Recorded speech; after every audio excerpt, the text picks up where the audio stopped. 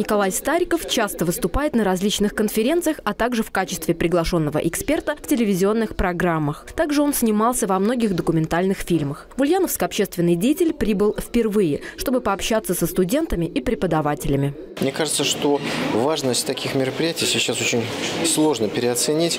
Очень много вопросов. Э, на некоторые из них есть ответы. И своими мыслями и пониманием происходящих событий хочется поделиться. По роду своей деятельности известный публицист постоянно передвигается по России. При этом общается не только со студентами, но и с разными общественными организациями. Вижу вопросы, стараюсь ответить на них. Ну и, собственно говоря, для этого уже пишу книги. Я еще являюсь автором 20 книг. Часть информации, которая, мне кажется, важна для понимания происходящих событий, она даже есть в книгах.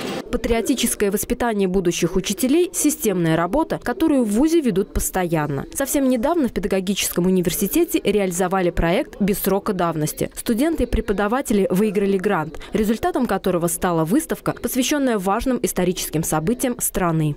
Мы стараемся приглашать интересных публицистов, писателей. И сегодняшняя встреча с Николаем Викторовичем Стариком – это уникальная возможность пообщаться с известным человеком, общественным деятелем, а, писателем, не только преподавателем, но и студентом. На лекцию Николая Старикова прибыли ветераны боевых действий. Марат Юсупов считает своим личным долгом военно-патриотическое воспитание молодежи. Ежедневно он посещает школы, колледжи и вузы, где в доступной форме отвечает на вопросы детей-подростков о специальной военной операции, частичной мобилизации, о важных событиях в истории России.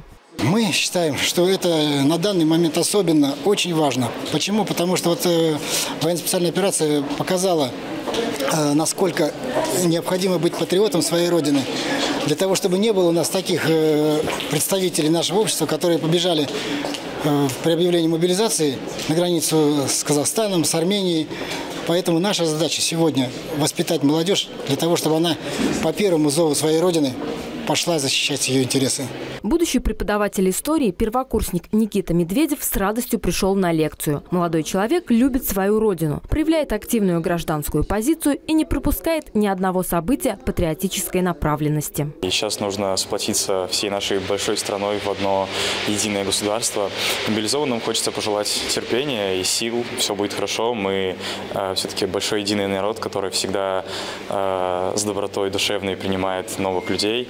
Э, мы растем, развиваемся. Студенты и преподаватели благодарили Николая Старикова за лекцию, за то, что они лично смогли пообщаться с известным и авторитетным публицистом и задать ему любые вопросы. Валентина Никонова, Геннадий Бухтаяров, Улправда ТВ.